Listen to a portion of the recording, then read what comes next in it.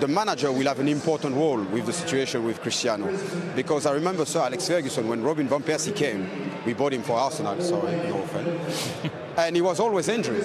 So he, he bring like all of us, and he said, guys, Robin won't training with us like Yeah. every single day.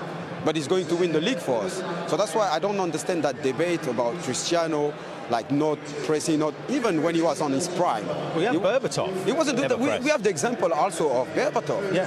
And that's when it's down to the manager. But I, I don't understand why we already debate of Cristiano. And what I love about Thierry, what he just said, why we don't talk about things he's doing, not what he can't do, because he never done that in all his, all his career. And me personally, as a, if I am a manager, I want Cristiano Ronaldo to score a goal, and then the team to, to adapt.